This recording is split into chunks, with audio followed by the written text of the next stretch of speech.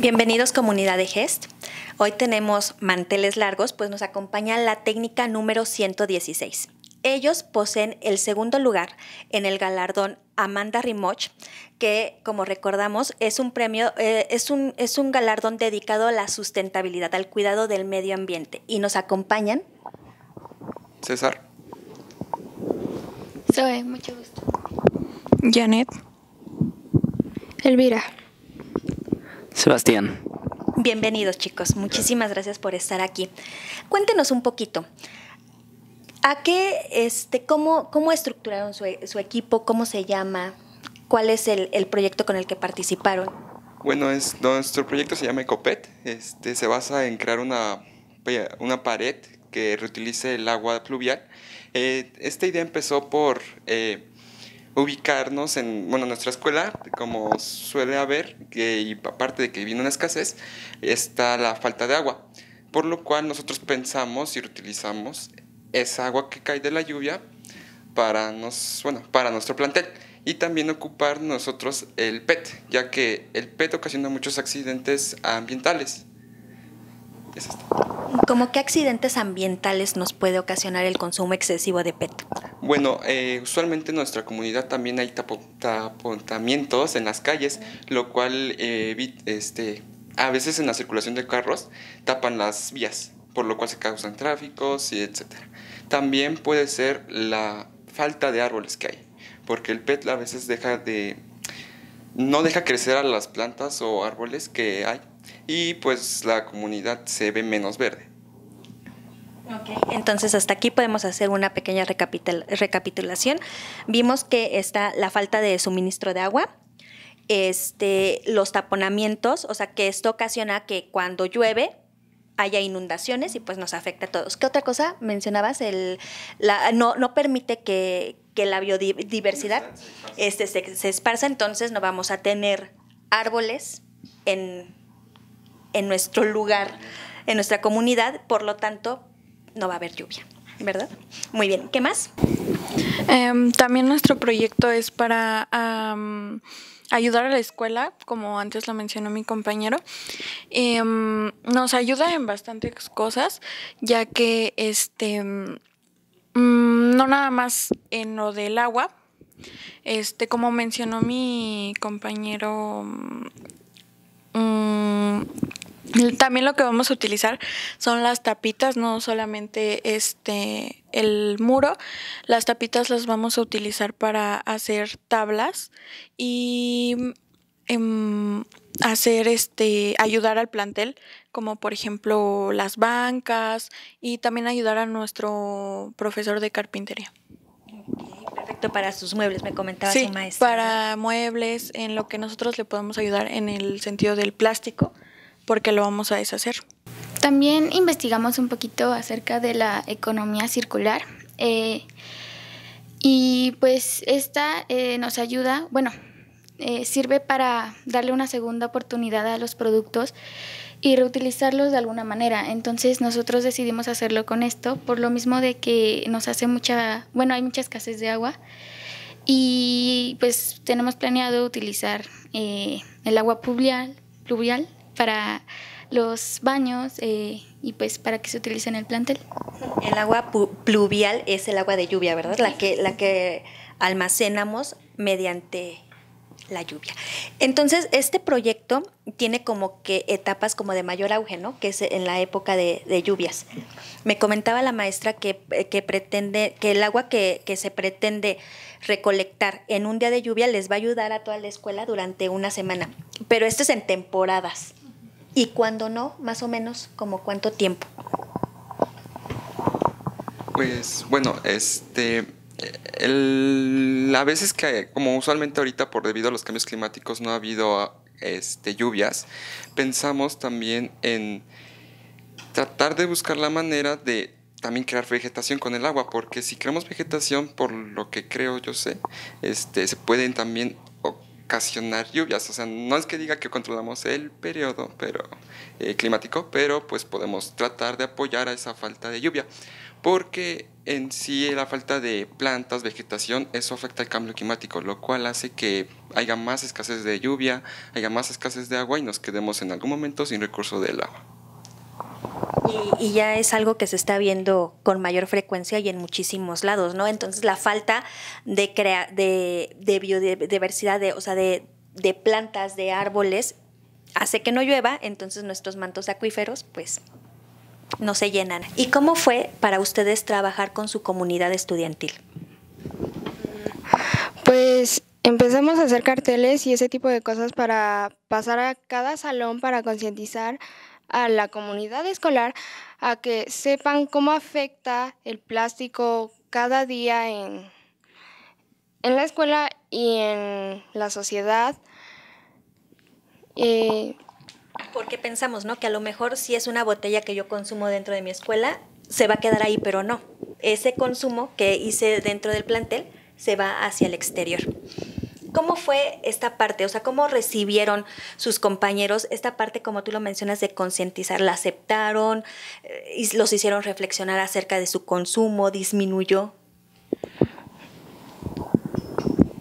Pues hubo muchos alumnos que nos apoyaron. De hecho, a los siguientes días los costales que teníamos para las tapitas y, y para las botellas de PET se llenaron pues muy muy exageradamente, así que fuimos sacando las botellas y nos ayudaron muchas cosas que nos aportaron, así como aportaron muchas botellas y muchas tapitas. ¿Y ellos les los apoyaban, les echaban porras? ¿Sí? De hecho, este hicimos concientización también en cada ceremonia que se hacen los lunes y este y pues igual cuando íbamos a, al taller de carpintería a agujerar las botellas y así varios compañeros se nos acercaban y nos decían, no, pues, ¿qué van a hacer? Así ya les platicamos sobre el proyecto y ya también iban, este, cada día más se llenaban los, los costales de las botellas. Eh, los carteles que hicimos al final eh, los reutilizamos para pegarlos en toda la, pues, la comunidad. Bueno, lo pegamos en los diferentes edificios y se hicieron con materiales reciclados también. Entonces yo usé libros que ya no utilizaba para hacer los carteles y las letras fueron, las fui pegando dependiendo de lo que tenía que decir. ¿Y cómo te sentiste al hacer esto? Pues muy bien, la verdad. Sí. ¿Y qué les, qué les dejó el haber ganado este galardón, más allá del reconocimiento académico? Pues una experiencia muy satisfactoria porque, bueno, al ser nuestra primera vez, la verdad estábamos muy nerviosas, no sabíamos cómo actuar, bueno, muchas cosas, pero fue una, una experiencia, una vivencia muy bonita, conocer tanta gente, este, platicar sobre nuestro proyecto y también pensar a futuro con el dinero que qué vamos a hacer con el dinero que pues, es, es, la creación del proyecto y también modificar el proyecto y seguir evolucionando el proyecto porque ese es el punto seguir apoyando a la ecología y al medio ambiente. Muchas gracias este, a mí me gustó mucho esta experiencia porque cuando fuimos por el reconocimiento de segundo lugar, este, nos dieron una plática muy importante que a pesar de que ya habíamos investigado, no había una persona este, que nos platicó a su experiencia eh, de de ella y este cómo nos lo explicó como en nuestras propias palabras, ¿no? Y ya este no como la información que aparece en los libros o en el internet, ella nos lo explicó y nos dio muchas este muchos ejemplos de cómo ella ha ayudado y que aunque sea un granito de arena lo que nosotros estemos apoyando para nuestro planeta, pues poco a poco va a ir este reduciendo la huella de carbono y es algo que nos beneficia a todos, ¿no? O sea, el premio es de ustedes, pero el beneficio es para todos nosotros. Muchísimas gracias. ¿Qué consejo le darían ustedes a, a las personas, a sus compañeros que nos están viendo, para que se acerquen a la ciencia? Porque muchas veces pensamos esto, ¿no? Que, es aburrido, que la forma en la que nos lo enseñan no nos gusta, que es difícil, que yo no nací para eso, pero en realidad tenemos ciencia en todos lados, hasta en el frotar de nuestros dedos ya está haciendo una reacción química, ¿no? La ciencia está en todos lados, la tecnología también, la contaminación también. Entonces, ¿qué, ¿qué, mensaje o cómo pudieran este, motivar a sus compañeros para que se acerquen a la creación de estos proyectos? Pues bueno, pensando en nuestro futuro también como personas y como seres, como especie, porque si seguimos a este ritmo, vamos, como ya dijo mi compañera, va a seguir subiendo la nuestra huella, nuestra huella de carbono y vamos a llegar a un punto en el cual ya no tendremos ni fauna, ni flora, ni medio ambiente, ni qué podamos hacer. Ahorita seguimos a tiempo a qué, a qué métodos podemos emplear para hacer esto y tratar de reversir o revertir. revertir perdón, este, este daño y también a tratar de apoyar a nuestra flora, nuestra, eh, nuestra flora, perdón, este, y pues tener un, un, futuro mejor y no tan deplorable o lamentable, o también dejar a nuestros hijos. Así como un paréntesis, ¿qué es la huella de carbono?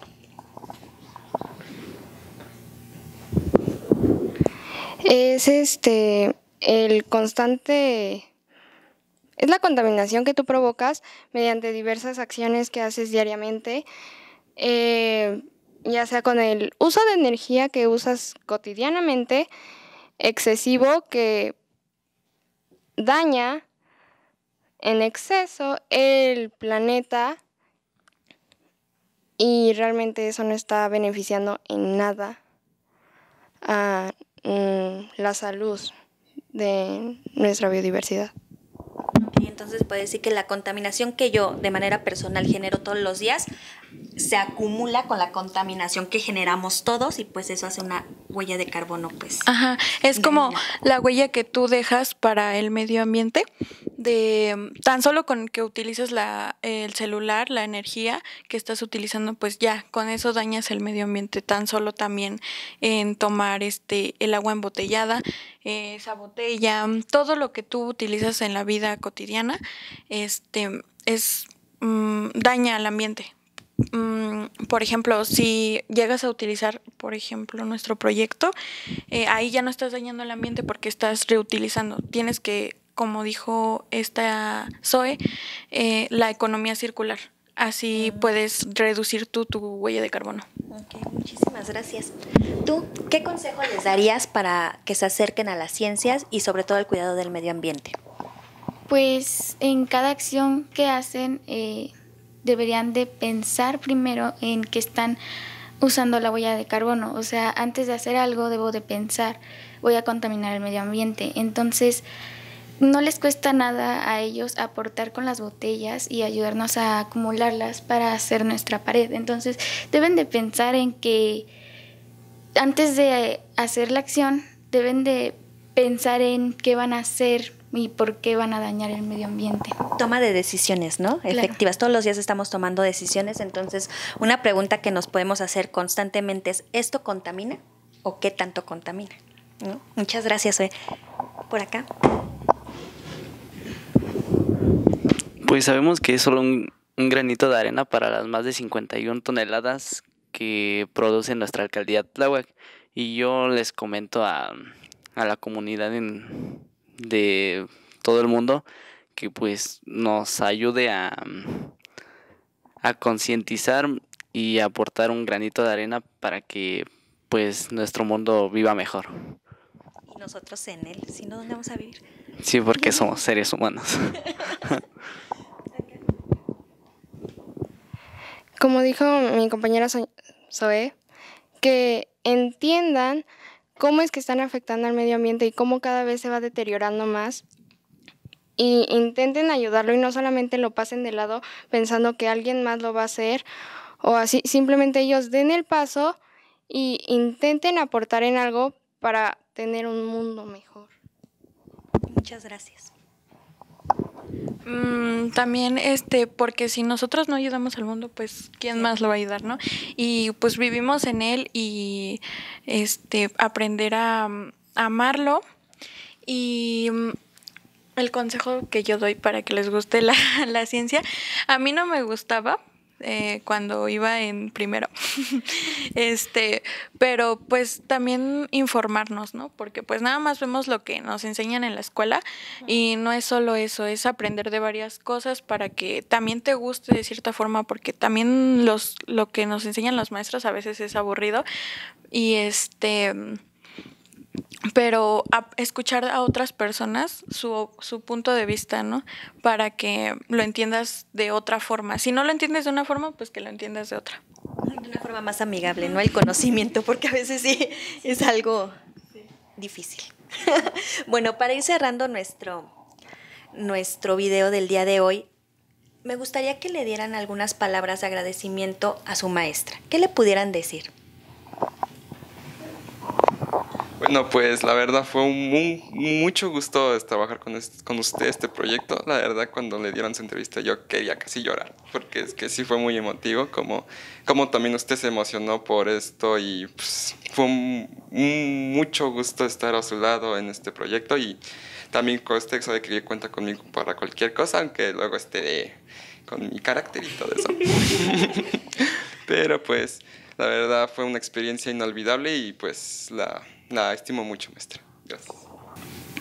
Yo agradezco que me haya tomado en cuenta para este proyecto, porque en cuanto me dijo, eh, me vas a ayudar, sentí lindo que pensar en mí. O sea, tenemos tantos compañeros y pensó en mí antes de todos y fue muy bonito. Esta experiencia no la voy a olvidar jamás y muchas gracias por la invitación. Mm, yo le quiero agradecer que igual de igual manera que me tomó en cuenta. Este mm, fue una experiencia muy bonita e inolvidable y espero que también a usted le haya gustado, que ya no nos vamos a volver a ver.